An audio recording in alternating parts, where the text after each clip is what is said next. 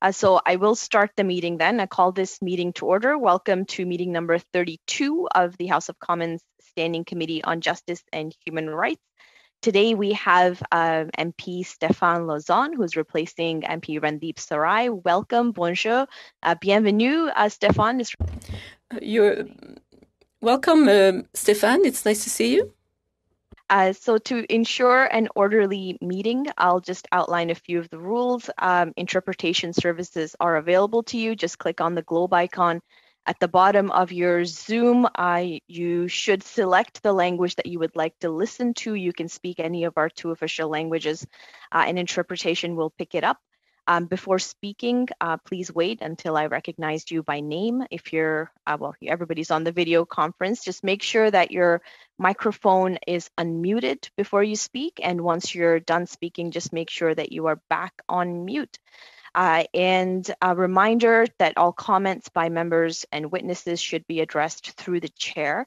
Uh, with regard to the speaking list, uh, Mr. Clerk and I will do our best to ensure an orderly list of uh, speakers uh, when, when you're participating and you'd like to speak.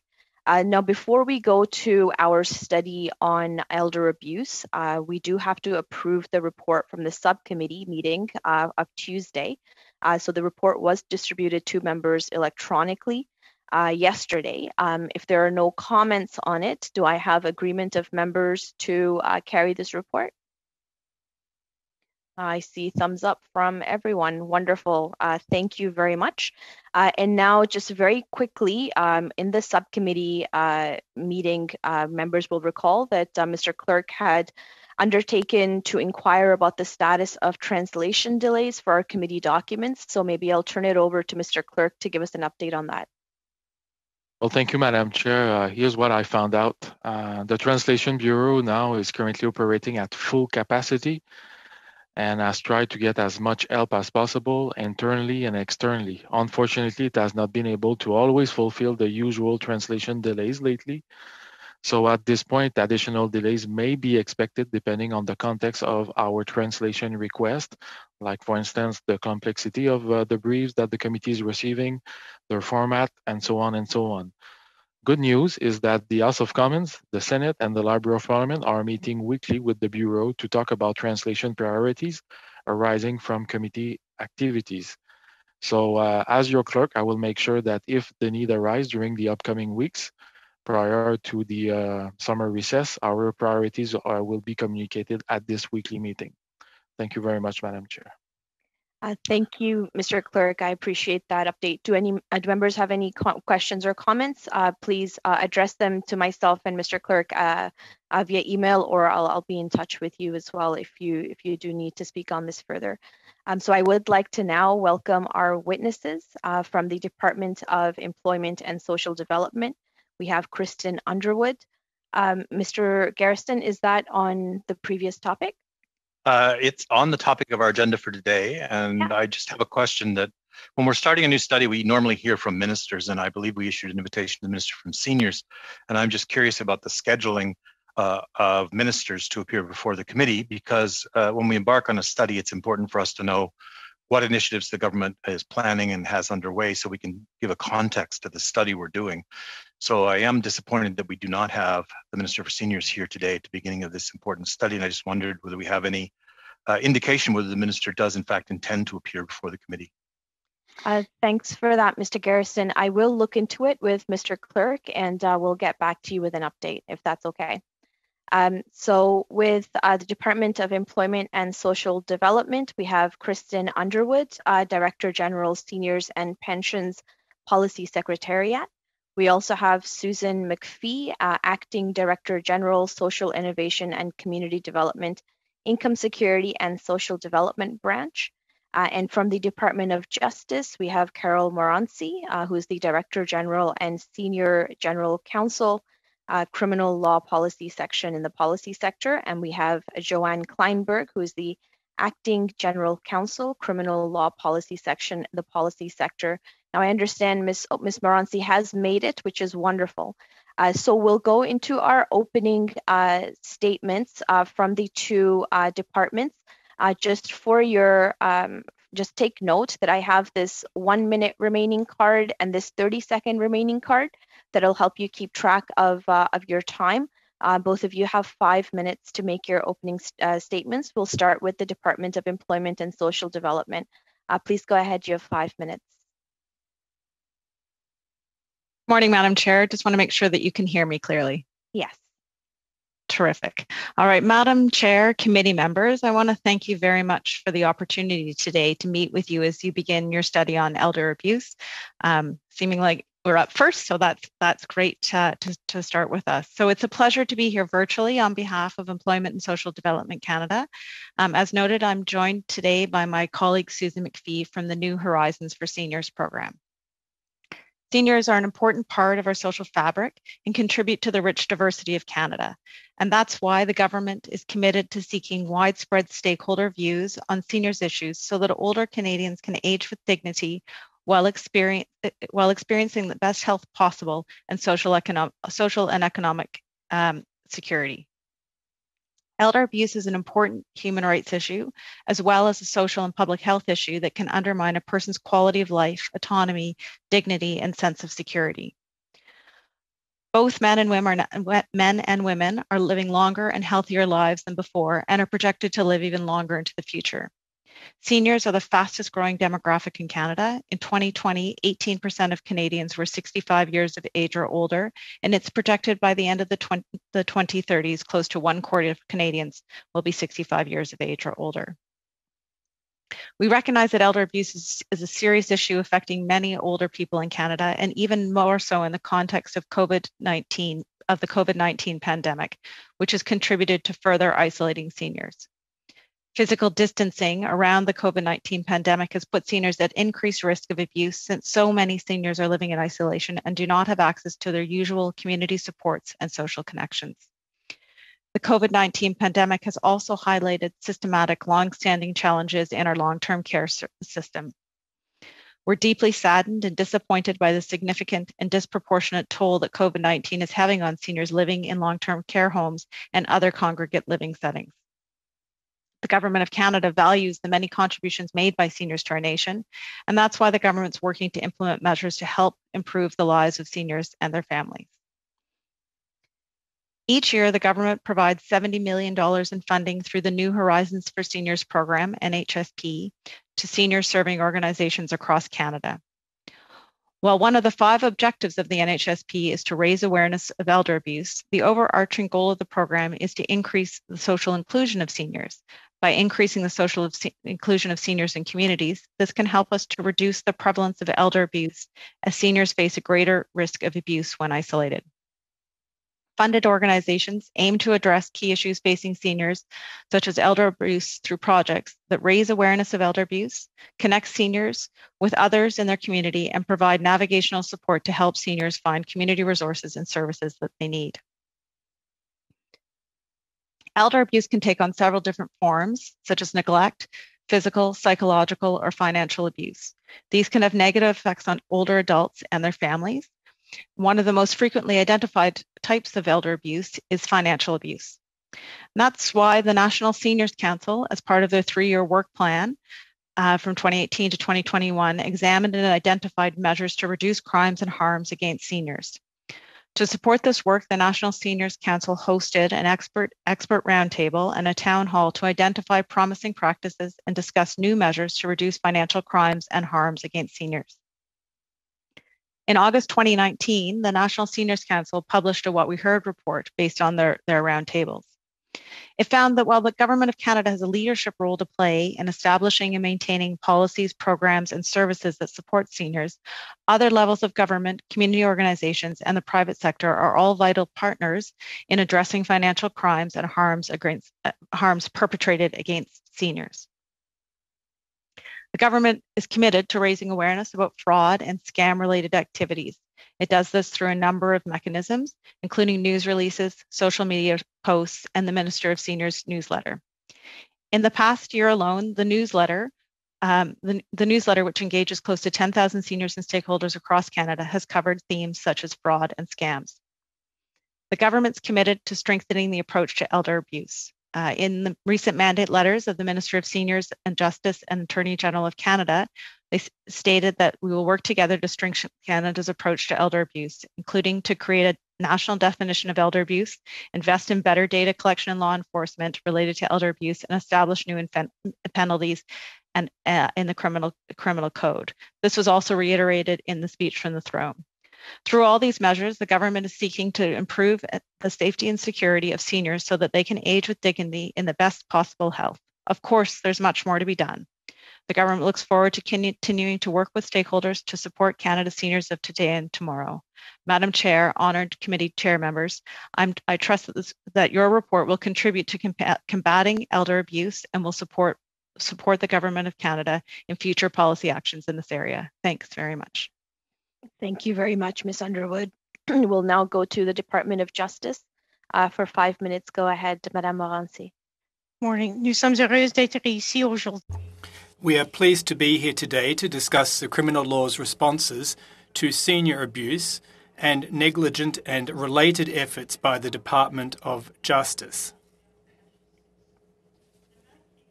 Senior abuse and neglect is an issue of concern not only for the criminal justice system, but also for other sectors, including the health sector.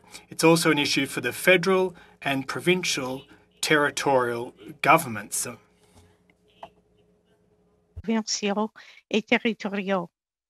As the committee knows, responsibility for Canada's criminal justice system is shared. The federal government is responsible for the criminal law and procedure, and the provinces and territories are principally responsible for the administration of justice, including prosecution, policing, prosecution, and the provision of services and assistance to victims of crime. The delivery of health services and long-term care are also matters under provincial and territorial jurisdiction. Each of the provinces and territories has a unique approach to addressing senior abuse, such as through laws that address the abuse of vulnerable adults. At the federal level, the Criminal Code protects seniors against abuse and neglect through numerous offenses of general application. It contains a comprehensive set of offenses prohibiting various forms of assault, including threats of harm and sexual assault, as well as negligence based offenses that prohibit failing to provide necessary care to seniors or providing necessary care but in a significantly deficient manner. The Criminal Code also contains a comprehensive set of financial crimes, which captures financially motivated crimes specifically targeting seniors. These crimes include theft and fraud, which have very pro- broad application and include specific forms of wrongdoing like theft by a person holding a power of attorney. There are also crimes involving a combination of violence or threats and property taking, such as extortion and robbery.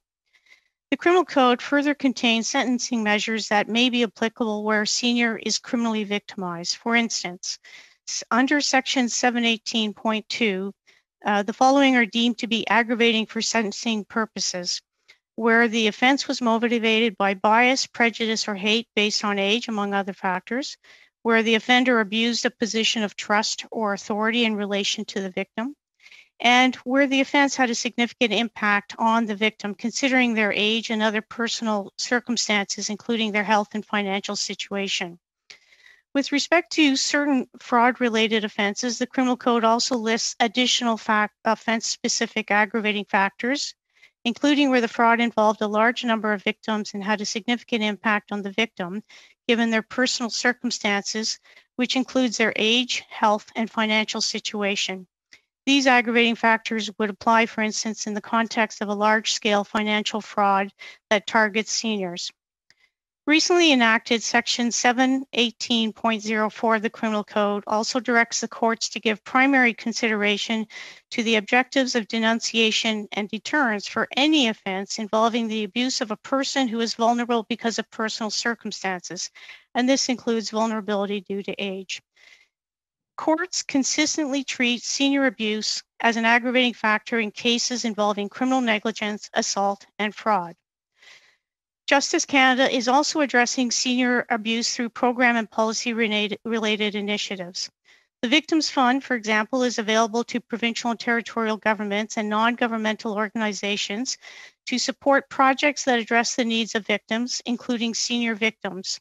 and recently made the amount of $1 million available for the development of or updating of public legal education and information materials to support victims of senior abuse and neglect.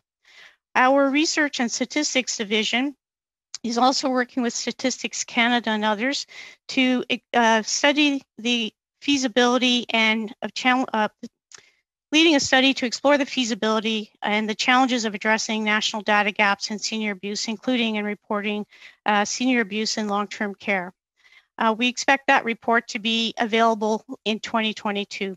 Je suis heureuse d'avoir l'occasion d'informer le comité. I appreciate the opportunity to inform the committee about ongoing activities within the Department of Justice on the issue of senior abuse and neglect.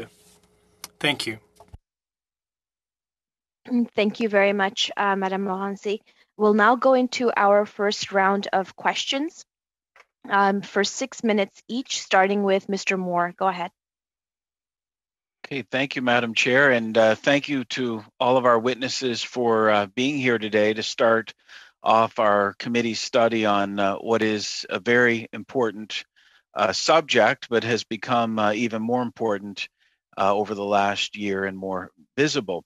Uh, in the criminal code, um, there are general offenses for assault, for fraud, and emotional abuse like threats. And uh, in the Protecting Canada Seniors Act that was introduced by um, the former Conservative government, of which I was a part, uh, it implemented further protections for seniors by establishing sentencing principles that take into account age, health, and financial situations of the victims. Um, maybe uh, Mrs. Morency, if you if you could uh, expand a bit more on how defining elder abuse in the criminal code could build upon that act and establish further protections for seniors. I think this is uh, something that we all care deeply about, but we want to make sure any actions we take um, will have a positive outcome. Sure. Thank you for the question. Um, as, as was noted, the criminal code was amended uh, in 2012 to add that aggravating factor.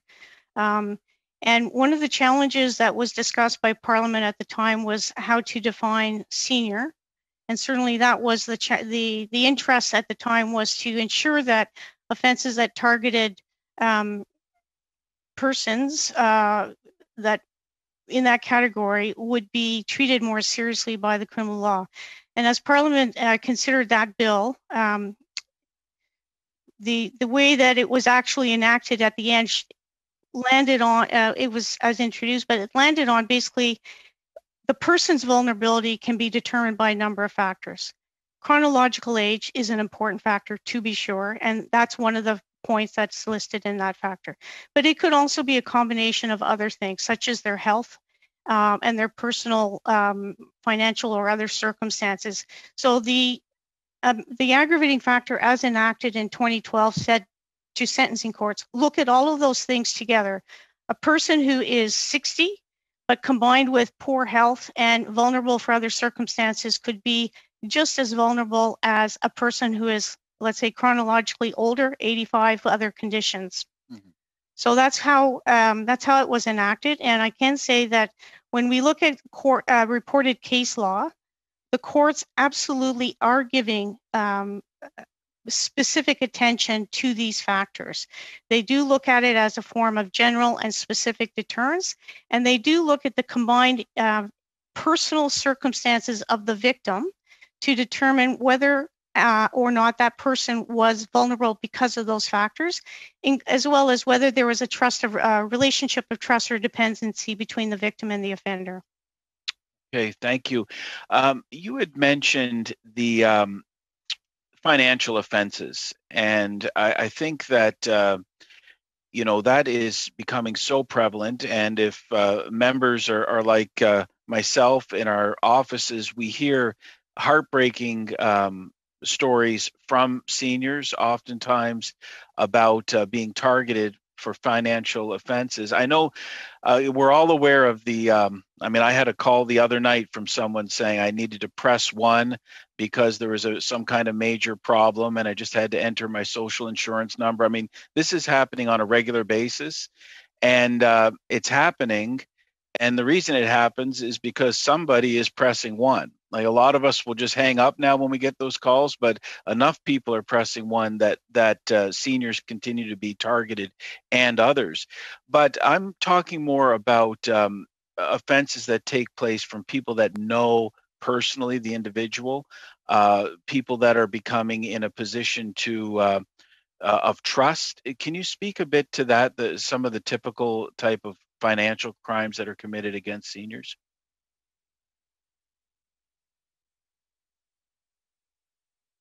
Um, I, I, can answer that question. Um, thank you. Um, I think that um, the offenses of uh, theft and fraud, which Carole uh, Ms. Morency mentioned in her opening statements, um, are quite uh, broadly drafted and apply to a wide range of circumstances because the, there are various ways in which people can um, obtain uh, the financial and other sorts of economic resources of victims. Um, theft, in principle, is the idea of obtaining through taking without having authority to take. And fraud, in principle, can really be thought of as um, persuading through some form of trickery or deception the victim to give you uh, their property. Um, in circumstances that are just marked by dishonesty in some way.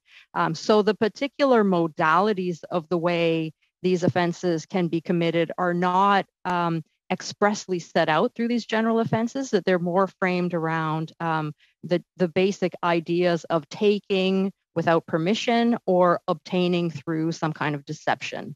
Um, and though there are in the criminal code um, a variety of other more specifically framed criminal offenses, uh, I think most charges that we see will fall under the rubric of either theft or fraud. Uh, and there can be a substantial amount of overlap between those offenses. So some forms of wrongdoing can be prosecuted uh, as both theft and fraud. Um, and in those particular cases, uh, the Crown may choose to proceed under one or the other, but those would be the main um, types of offenses that we would see charged in these kinds of cases um, even though there is, for instance, a specific offense of um, sort of uh, obtaining funds through the misuse of a power of attorney, um, even that form of conduct can be captured as fraud because that's a dishonest and unauthorized use of the permission that a person has um, that would equate to dishonest behavior. Uh, so you. I think that the the predominant charges we see in these types of cases um, are likely fraud where there is some deception that takes place. Thank uh, you. Uh, that leads. Yeah. Sorry, um, uh, Ms. Klineberg, we're uh, over time here for Mr. Moore. Hopefully, we can continue on this Thank you. Uh, with uh, Mr. Kelloway. Please go ahead. You have six minutes. Thank you, Chair, and hello to my colleagues and and, and hello to the witnesses. Uh, an important study, to say the least. Um, my questions are going to be directed toward the uh, officials from Department of Justice, Madam Chair, and First, a comment. Uh, the first wave of the COVID 19 pandemic, it highlighted the mistreatment of so many of our seniors living in long term care. It was devastating to hear stories of the living conditions and treatment of patients. And as Canadians, uh, I, I think and I know we're better than that. So, my questions are this Do we have specific data regarding elder abuse in institutional settings? And how does this vary by province?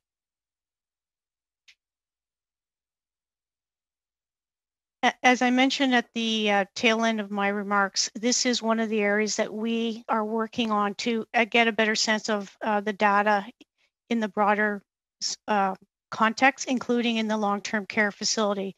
So we're working with Statistics Canada on that. That said, um, the committee may wish to um, consider whether there are some officials from Statistics Canada who may have a bit more information directly germane to that.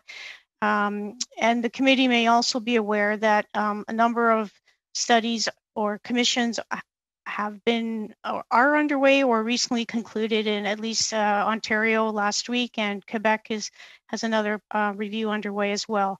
Um, so that would be a matter that would be beyond our responsibility, but there's certainly uh, I think two things. I think there is some data that is available by some of those other bodies. And two, I think we would all agree, though, um, certainly that the circumstances of, of the continuing circumstances of the pandemic have highlighted the need to get better uh, data. And, and that, that was known even before the pandemic. Mm. Great point um, on that. So I, I want to continue um, with the Department of Justice. So, as we work with provinces and territories to improve conditions in long term uh, care, can you tell the committee if there are any regulatory offenses in the jurisdictions we control for long term care volunteers that would be beneficial in eliminating elder abuse? And if so, what would that look like?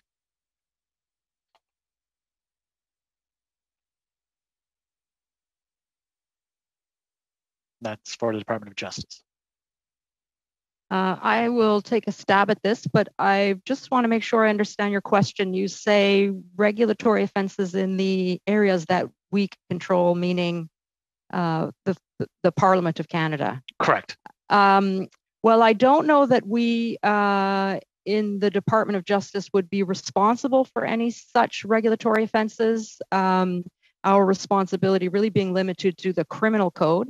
If that's what you're asking about, I can address that. Yeah, please do. Just on the re- uh, okay, so as far as um, the criminal code is concerned, um, again, Ms. Morency mentioned um, the key offenses in her opening remarks. So if the um, mistreatment is in the form of um, unwanted touching, harmful touching, um, we have a full range of assault offenses that would cover that. But a lot of what uh, we heard and was reported on uh, that took place in long term care was in the form of neglect. Um, so the failure to um, protect residents from transmission of disease, uh, failure to provide necessary hydration and nutrition in some circumstances, um, failure to deal with um, bed sores or other types of illnesses and injuries. Um, and so the criminal code does contain um, several offenses. The, the, the most important offense would be section 215 of the criminal code, which is the failure to provide the necessaries of life. Uh, that is a duty based omission type offense, which means that it only applies to persons who have the legal obligation to provide the care. Uh, and where they fail to provide the care and that endangers life, that is criminally punishable. Um, so that is an offense that certainly applies in the long term care con- context. There's a more general version of a ne- negligence based offense um, called criminal negligence causing bodily harm or death. It has a slightly higher criminal law standard. So the um, the the behavior must be a marked and substantial departure from the standard of care a reasonable person would use in the circumstances or the context of criminal negligence causing bodily harm or death and that those offenses are also punishable by a higher maximum penalty than the offense of failing to provide the necessaries of life uh, which has a slightly lower threshold uh, the departure from the standard of care need only be marked. Um, and uh, but they do cover a lot of the same conduct. Um, so you would see charges laid uh, for both offenses in some circumstances, uh, and that would cover both um, the failure to provide necessary care and also if care is provided but in a very significantly negligent manner, that could be captured by the criminal negligence offenses as well. Thank you very much. Madam Chair, how much time do I have? 30 seconds. Okay, I'm going to try to get one quick question in. Uh, a 2009 report prepared by the uh, Department of Justice Canada Family, Children and Youth section noted the legislation using the terms elder abuse or elder neglect are rare, are rare rather, internationally outside of the United States. So, two quick questions: Is that still the case in 2021? And what are the pros and cons of using such terminology in legislation or in criminal law? Well, just very quick, briefly. Quickly, I'll just say that that report, the 2009 report, actually was used to inform the reforms that were enacted by Parliament in 2012. That sensing aggravating factor, which looked at the, the range of circumstances. And, and my colleagues from uh, Ms. Underwood could also speak to that is one of the things that the government has committed to look at is how do we define and what are the variations in the use of terms within Canada policy, outside of Canada, et cetera. So it does, it continues to be a variant. Thank you. Uh, thank you very much. Uh, we'll now go to uh, Monsieur Fortin for six minutes. Uh, please go ahead, sir. Merci, Madame la Thank you, Madam Chairperson. Madam Chairperson, my question is directed at Ms. Morency. I'd like to hear what you think, Ms. Morency. We have started to talk about the current provisions of the Criminal Code on criminal neglect and the failure to provide the necessities of life, etc. But how do you see the provisions of the Criminal Code as they currently stand in the context of a of combating elder neglect, be it uh, financial, uh, care based. How do you see the current provisions vis a vis the needs that are felt? Um, well, I'll take a stab at that. Let me say two things right off the bat, and I'll start continue in English. Conduct that arises that involves the mistreatment or abuse of seniors or elderly persons can be addressed in a number of ways. Could be addressed through the criminal code if it rises to the standard of some of the offenses that we've described. Conduct that involves treatment or um, of, for example, persons in long term care facilities might also be addressed through provincial regulatory oversight. Um, and how how things proceed under one or the other may depend upon what is the evidence in a particular case. Could the police proceed more easily under one system than another? And maybe there are different standards that are at play. Um, my colleague Joanne uh, Klineberg has explained on the failure to provide the necessary life and the standards that are applicable under the criminal code provinces under their regulatory oversight for long-term care facilities and the rules that are in play there would have different standards. At the end of the day, um, conduct can be treated sometimes under one or the other. Um, sometimes in the criminal law context, as my colleague has said, the same conduct might result in charges for a number of offenses, but ultimately it's going to depend on what, what are the facts and circumstances of each case. Mais, mais sur le plan du... Well, as far as the criminal code is concerned, I understand that we won't be dealing with provincial areas of jurisdiction here. We're sure about that. But when it comes to federal areas of jurisdiction, it's my understanding. And by the way, uh, I really liked your introductory remarks. Could I have a copy of them, please, if that's possible, if you have no objection? Be very helpful. But let me turn back to my question. Now, if we limit ourselves to federal areas of jurisdiction here, in your opinion, are the current provisions in effect in the criminal code and elsewhere adequate and up to the task to deal with the situation at hand? Or, in your opinion, is it incumbent upon us to amend the current provisions or even enact new legislation or a special section of the criminal code? How do you see the lay of the land of course, specifically sticking to uh, federal areas of jurisdiction? Um, Chair.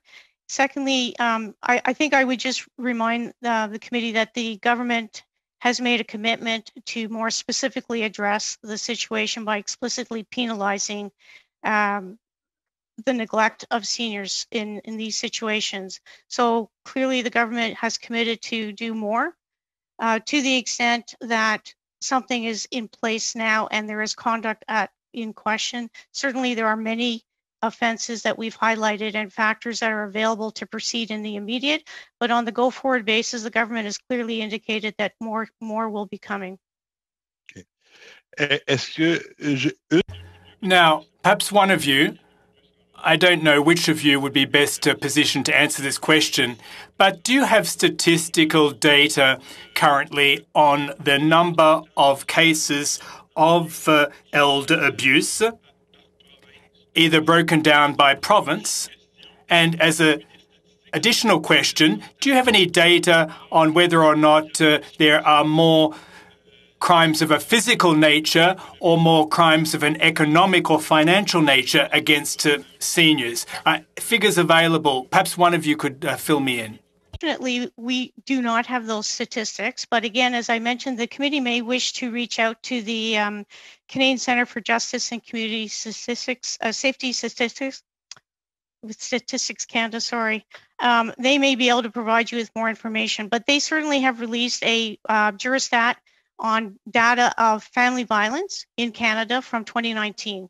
And in there, section four deals with some of the factors that you've asked about. Um, but we've also acknowledged in my remarks that we need more and better data in this area. And that's why we're working with our partners to get that. Uh, now, with which partners are you working with? You say that you need more information on these issues. Is there currently a study underway? Yes, indeed, there is.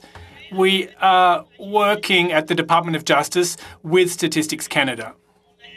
I see, I see. And we're wait, awaiting the uh, next uh, results next year. And what will that data be about? Uh, will it be a breakdown of the various types of elder abuse, be it physical or financial? Framework to collect better data across the, the different categories. We Okay. I see. Well, I'm sure I've almost run out of time, but thank you very much. Thank you very much, Monsieur Fortin. I appreciate that. We'll now go to Mr. Garrison for six minutes. Go ahead, sir. Thank you very much, Madam Chair, and thank you to the witnesses for being with us this morning. I'm going to ask the justice witnesses a question, but I'm going to ask them to bear with me a moment while I lay out a story that I think raises some questions about how we actually uh, respond to elder abuse.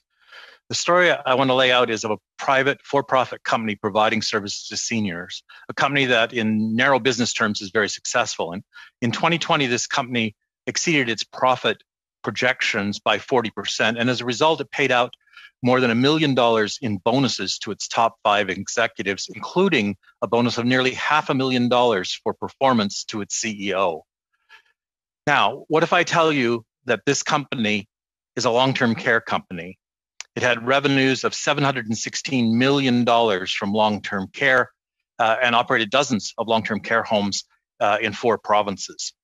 And this company suffered a rate of death for its residents of about 3.6 per 100 beds. So nearly 4% of the residents in, it, in its homes died from COVID. In two of those homes, more than 20% of the residents died from COVID. And so uh, I would also point out that in one of those homes, in one month, the home was cited for 13 violations of standards of care, including failure to provide adequate hydration, failure to provide uh, incontinence care, uh, and failure to provide uh, adequate nutrition. 13 times in one month while paying out a million dollars in bonuses to its chief executives. Now, the, the question I really have here is certainly the witnesses laid out that there is criminal negligence causing bodily harm and the failure to provide necessities of life. Two aspects of the criminal code, which I think clearly apply in these cases, where the company involved, and I don't name the company because unfortunately, uh, you could name or I could name at least four companies with almost exactly the same story to tell during COVID. Yet I'm unaware of any criminal charges of any sort laid against any operator of a long term care home when we have had certainly a vast proportion of, of the COVID deaths taking place in long term care homes and a large proportion of those taking place in a second wave which indicates there was a failure to put in place an adequate response plan, which to me would also qualify under Section 215 uh, as a criminal offense in failing to provide necessities of life, which would have required uh, hygiene uh, and um, infection protection measures, which were not taken in these homes. So my question to the Department of Justice officials is very specific. Have there been any charges laid? And, and if not, or if there have been only a few charges, who's responsible in our system at this point for charges being laid for criminal negligence or negligence in providing the necessities of life in long-term care homes during COVID?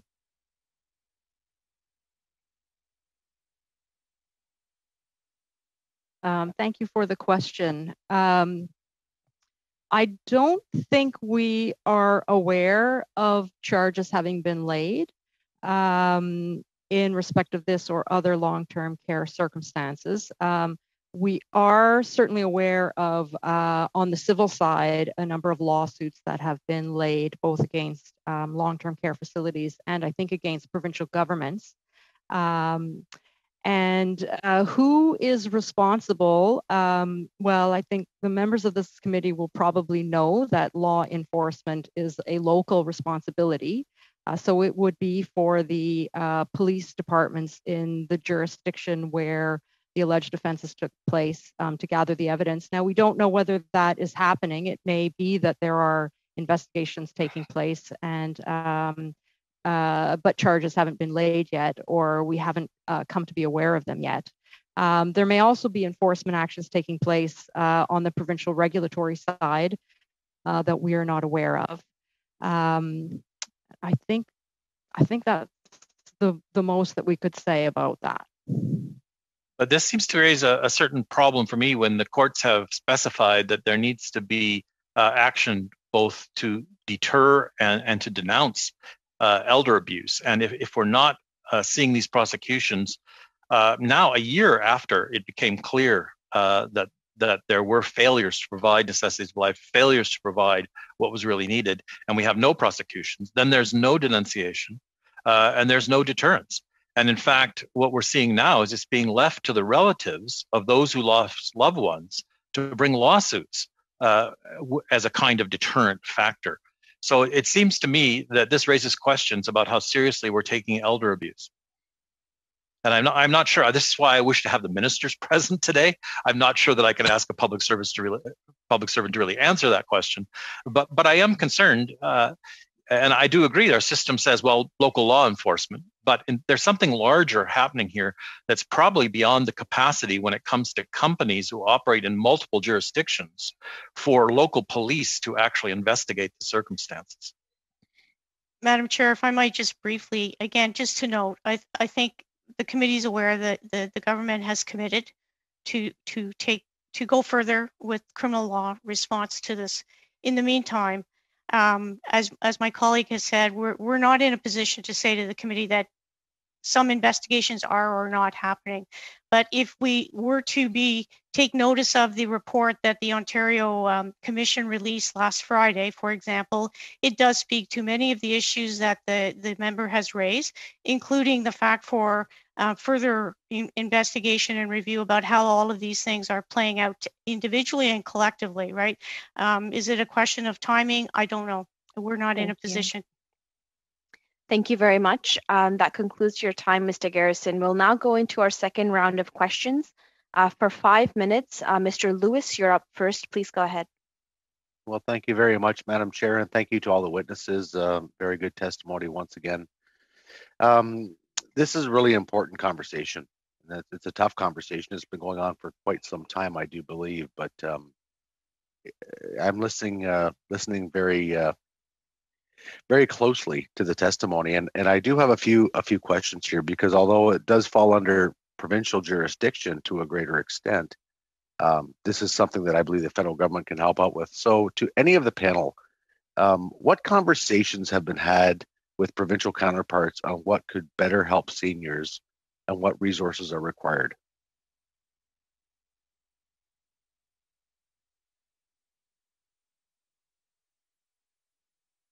Who was that for, Mr. Lewis? Anybody on the panel that's could answer my question, Madam Chair. Um, so I'll, I'll leave it to the witnesses. Ms. Underwood, please go ahead. Uh, sure, um, Madam Chair. I I, uh, I, I think I could talk a little bit about um, the the work that the government has been doing, um, uh, or that the the work that the government is supporting um, for um, the Health Standards Organization and, and the and the CSA group who are working together um, on engaging a broad range of stakeholders across the healthcare system and the public to develop uh, national healthcare standards. So there is there is uh, work underway uh, around developing better standards in in long-term care that will address both the safe delivery, reliable, high-quality services, and health infrastructure and environmental design in in long-term in long-term care. Um, that work is is is ongoing, so I can't speak to the specifics as what's happening, but but there there is work ongoing in that space. Also, I, I should mention that um, uh, that the government did commit in the in the budget 2020 uh, to to uh, uh, funding for, for the Public Health Agency of Canada of $50 million over five years to design and deliver interventions that promote safe relationships and prevent family violence, uh, including elder abuse. So this is less in the in the institutional setting and more on the, the individual space, but um, but I think that's important to to to include as well. Thank you, Madam Chair, and sorry for the background noise. Um, so back to Ms. Underwood, what role can the federal government play to support further research research on how to best combat elder abuse. To think the federal government's role, um, uh, we we do need to stay in the in the space as as other members have um, uh, have mentioned today, Madam Chair, um, uh, including uh, the criminal code being in in our in our federal space, and I'll turn back to to, to Madam Morency for for that for that uh, that discussion. Um, also, I think our role in supporting provinces and territories and looking at uh, looking at the the standards that they have in place um, in their jurisdiction. So, as a, a, a leadership and support role in, in that space um, including and and uh, and and other funding to prevent um, elder abuse, as, as I mentioned.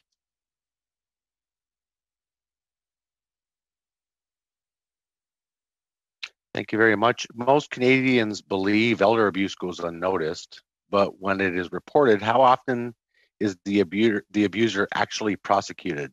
And what is the success rate for victims of elder abuse in the courts? again, um, unfortunately, we we aren't in a position in the Department of Justice to collect that type of data. I do encourage the committee to consider reaching out to Statistics Canada for that. What I can say is when we look at reported case law, uh, we definitely are seeing um, so it, it, depends. Not not all cases that are actually charged and prosecuted ended up being reported as case law. When we look at the reported case law, we do see more cases that occur involving abuse, um, sexual assault, neglect, fraud uh, than we do on, um, for example, in a long-term care setting. There have not been very many cases that we've been able to find. So, to the extent that uh, it's a it's a it's an excellent question, and definitely there is a strong interest to find out that connection. But I do think that um, that family violence report that I mentioned uh, to the committee, maybe uh, or someone from Statistics Canada may be able to more directly respond to your question. Thank you very much um, to all the witnesses. And I guess I would, uh, I will certainly side with Mr. Garrison on this front. It would have been fantastic to have the minister here to answer our questions, but we do, I do appreciate all the witnesses. Thank you, Madam Chair. Thank you, uh, Mr. Lewis. I will now go to Mr. Lauzon for five minutes. Please go ahead. Thanks, Madam Chair. I will uh, share my time with uh, my colleague uh, um, Arif. Now, uh, merci beaucoup tout le monde pour uh, l'invitation. Thank you very much, everyone, for this invitation to join the committee. This is a crucial committee to my mind, especially with the study of elder abuse. These are very sensitive, delicate issues when we talk about uh, physical, financial elder abuse. Often it's uh, financial in terms of cash, but sometimes uh, those who mistreat our seniors steal uh, their assets, their belongings. There's also psychological and physical abuse. And unfortunately, it's sad to face this fact, but there's also sexual abuse. And this is a highly sensitive issue that I care very much about. But for a number of years, Statistics Canada has been gathering data on elder abuse. Now, the, there's a GBA analysis, uh, analyses which demonstrate that women are, of course, more vulnerable. And uh, do we know which seniors, are there particular age groups, for example, that point to who is most affected? and how women are impacted in comparison to men. Perhaps Ms. Morency is best placed to answer that question, or anyone else for that matter. Thank you. Um, again, the Family Violence in Canada, a statistical profile 2019 report does provide some of that information by Statistics Canada. As noted, it, it talks in particular about violence against seniors uh, in at the hands of someone known to the victim, um, but it also gives a little bit of information by way of comparison about stranger violence against um, uh, seniors. So um, I, I, I, do commend that report. I'm happy to provide that report to the committee in English and French. It does provide some of that background. And yes, as noted, uh, women, mm-hmm. uh, who's more vulnerable? It can often be and is often women are more vulnerable, um, but it's not only women that suffer um, um, elder abuse, senior abuse, and it takes a variety of forms. Um, you know, one of the challenges is getting better data and having it reported, and it's like domestic violence, uh, intimate partner violence. When it occurs in a private setting, it's often difficult uh, for victims to know can they report? Who do they report to? Who they can get help from. And that's why the Department of Justice is supporting additional uh, or enhanced materials, uh, public legal education materials for victims or potential victims of elder abuse to help them understand where they can go for help. Merci beaucoup. Merci pour. Well, thank you very much for your response. Now, I'd like to leave some time to Arif, but I have a crucial question that I'd like an answer on, if I may. 50 million uh, would be earmarked uh, in the 2021 budget to deal with elder abuse. So, what can that money be used on? So I think, uh, Madam Chair, I think you, you, we need to talk to the public health agency specifically on how the money will be distributed. It will will um, support uh, the prevention, uh, or it's intended to support the prevention of of uh, abuse. Uh, in both um, in in relationships, family violence, but also includes elders. Merci. Uh, allez-y, Arif. Go ahead, Arif. Thank you, Mr. Lauzon. Just very briefly, uh, I agree with the, the pro- problem that's been highlighted by Mr. Garrison that uh, seniors in care have been failed during the course of the pandemic. Uh, but I also understand and know that we don't direct law enforcement officials about where and when to where ch- lay charges, and that's an important aspect of a democracy. So, given that's the context that we are in, and Ms. Morency, if you could perhaps address this, if we were to be minded to increase the tools that are in the toolbox for the laying of charges, given what's in the speech from the throne where it says explicitly penalizing those who neglect seniors under their care, putting them in danger, uh, Ms. Morency, do you have any any sort of suggestions as to how those improvements could be made to the criminal code? Thanks.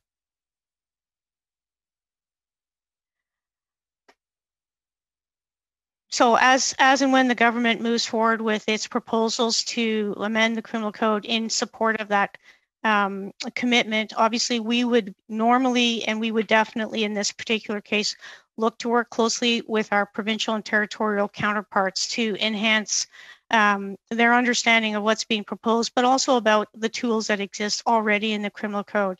Um, I do think all of us will be informed as well by um, new um, new information and findings that are coming forth, uh, including, for example, I've mentioned already the report in Ontario uh, from the uh, last Friday, um, which took um, like I would say in the moment a type of a snapshot of what has happened so quickly during the first wave of the pandemic.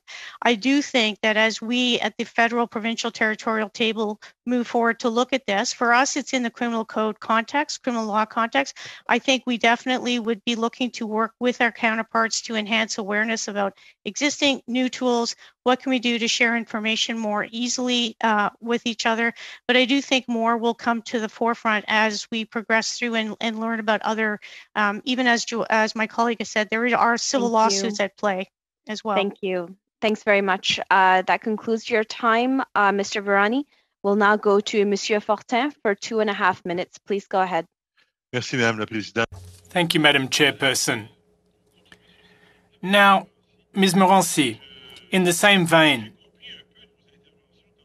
from your earlier remarks, I understood that there is a report that will be published by late 2022 on statistics on cases and prevalence of uh, physical, financial, and economic uh, elder abuse, but perhaps the current uh, legal framework might be reviewed in light of those figures in due course. But in the meantime, should I understand from your testimony that, in your opinion, the prevalence of elder abuse is actually on the rise vis a vis what it was to five to ten years ago? That is that is my understanding from that report as well. The Family Violence in Canada Statistical Profile 2019 did conclude that there has been an increase in the level of violence against seniors, including in the family violence context. Um, absolutely, we do need better uh, and, and broader and disaggregated data, and that's part of what we're going to work towards to help us be in a position to better collect that data through Statistics Canada. Uh, but in the meantime, there is some data that shows what you've just noted. OK. Eh, eh, seriez-vous d'accord pour dire do you agree that if uh, cases do rise, uh, generally speaking, that the provinces will be in a bit of a pickle, won't they? In because the federal government, um, it's its area of jurisdiction, the whole legal aspect of this, but in terms of the care given to seniors, that's often a provincial area of jurisdiction.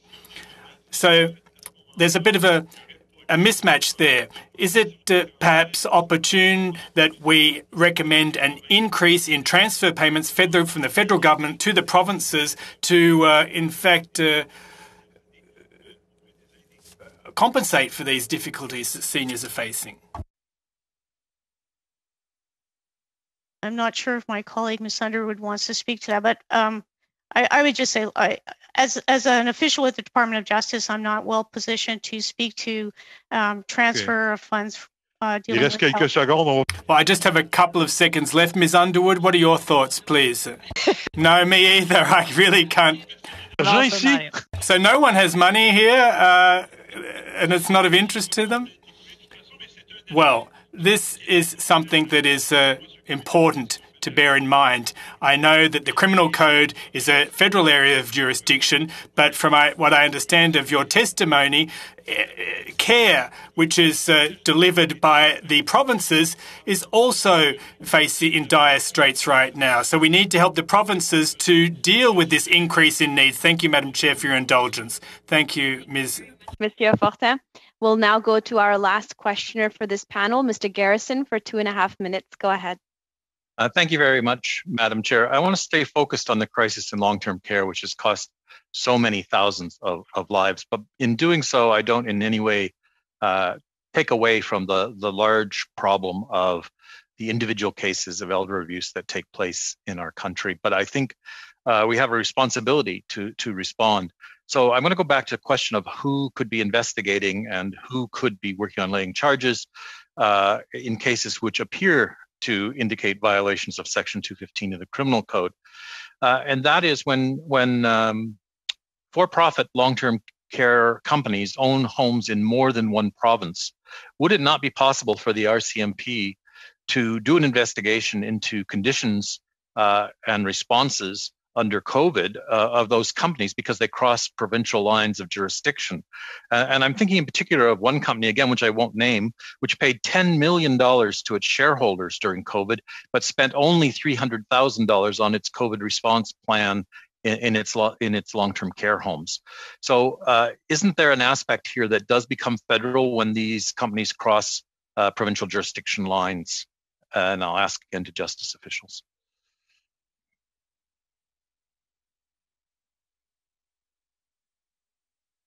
Uh, to the uh, justice officials? Um, I will try to answer, but um, with uh, apologies and respect for the committee, this is not an area that I think um, I have tremendous expertise in. But I think our understanding is that the crimes committed in the local jurisdictions are still the matters of the local police and that they would work cooperatively with um, local police in other jurisdictions where the same uh, or similar offenses have taken place um, by the same potential suspect. Um, I, I, it's not my understanding, um, but I would um, recommend that perhaps you um, invite the RCMP to ask them this question. But it's not my understanding that because a crime may cross um, provincial borders, that that would give the RCMP enforcement jurisdiction. Uh, I, I, would use the parallel of organized crime, where there are sometimes special task forces uh, set up by the RCMP to investigate things. And when you look at the case of a long term care company paying out such huge amounts in dividends to its shareholders and failing to provide the necessities of life to the residents of their care homes, this seems to indicate uh, a gap, I guess, in our system if there's no one who can look at that larger question of whether this in fact constitutes a criminal code violation. Thank you, uh, Mr. Garrison. Unfortunately, that does conclude your time. Um, and I'll just take a moment now to thank uh, the officials for being here today and, and for your very compelling testimony and for answering our questions. Uh, we'll now suspend for a few minutes as we let in our next panel of witnesses. Thank you again and uh, see you in a few minutes.